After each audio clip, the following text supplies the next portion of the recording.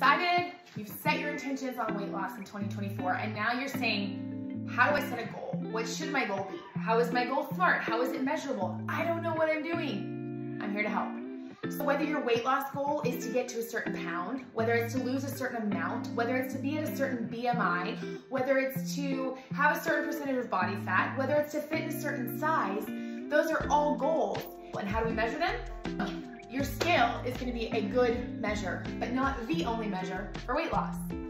The tape measure, one of my favorites, bust, waist, butt, okay? So great tool. I also love an InBody scan or a DEXA scan, something like that, where you can just see your body composition and watch your muscle mass and your fat percentage change.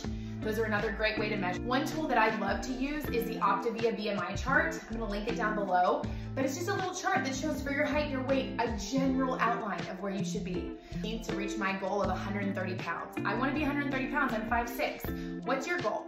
I'm 20 pounds down, I got 36 something to go. So let's do this together. Let's set a goal.